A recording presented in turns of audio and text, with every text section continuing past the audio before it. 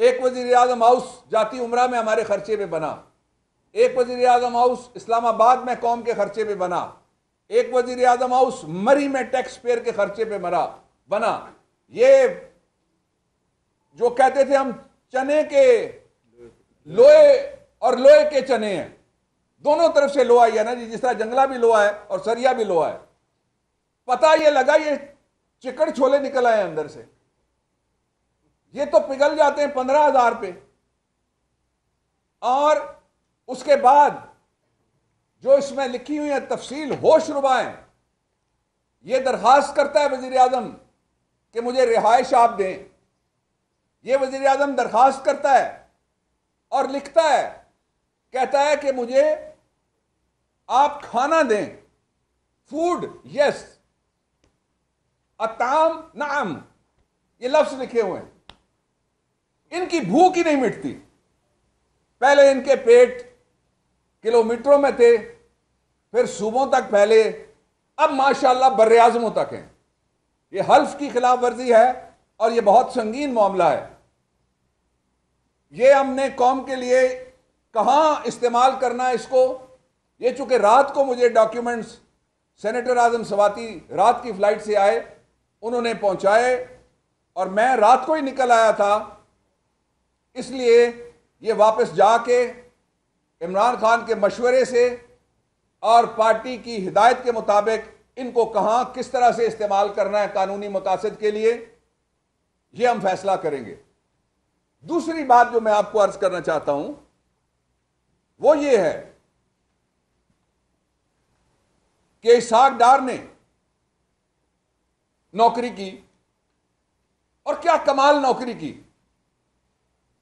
उसका एक सबूत इंटरनेट पे है, एक सबूत तफ्तीश में है और एक सबूत पैनमा के केस के अंदर भी आ गई। ये सारे सबूत हमने इकट्ठे कर लिए।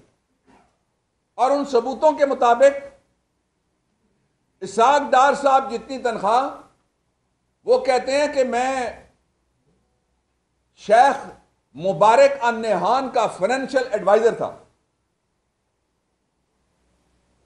किसकी आँखों में धूल झोंक रहे हो? यह वो रियासत है जिसका अबू धाबी जब दुबई के ऊपर क्रंच आता है मुआशी तो जो बुर्ज दुबई है, उसके लिए भी उनके पास इतने पैसे थे कि उसको दिया और दुबई के जो हुक्मरान थे, उन्होंने शुक्रिया के तौर पे उसका नाम बुर्ज अल खलीफा रखा। और इन्होंने इतने पैसे कमाए जिनमें से इनके उससे बराबर दो बुर्ज खड़े हो गए। पाकिस्तान में नवाज़ शरीफ से ज़्यादा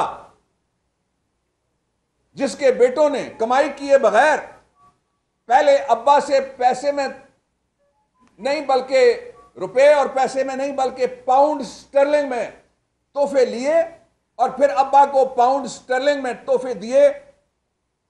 वो इस वक्त खजाने का सबसे बड़ा चोर है। हम इस सिलसिले में भी कुछ मुशावरत हमारी हुई है और कुछ मुशावरत अभी बाकी है। ये सारी तफसीलात हम कौम के सामने ला रहे हैं ताकि पता लगे कि जो एहतसाब का मुकदमा है, उस मुकदमे में एतराज़ की कोई गुंजाइश नहीं है। और जो एतराज़ात अभी तक की हेयरिंग में सामने आ चुके हैं, मैं उनके ऊपर पीटीआई का मौकफ आपके सामने रखता हूँ, फिर तीसरी बात आपके सामने करूँगा। पहली बात, जो एतराज़ात इस वक्त तक शरीफ खानदान की तरफ़ से जीआईटी पे हुए ज्वाइंट इन्वेस्टिगेशन टीम पे हुए, वो वही एतराजात हैं जिनके ऊपर पिछले महीने सुप्रीम कोर्ट ऑफ़ पाकिस्तान ने फैसला सादर कर दिया कोई नया एतराज़ नहीं आया, जिसके तीन मतलब निकलते हैं कानूनी। पहला, एक दफ़ा सुप्रीम कोर्ट ऑफ़ पाकिस्तान में फैसला आ जाए तो उसको सिर्फ़ नजरसानी में बदला जा सकता है। एतराज़ में नहीं बदला जा सकता। और नजरसानी दूसरी बात तीस दिन के अंदर नजरसानी रमान साहब बात कर रहे थे।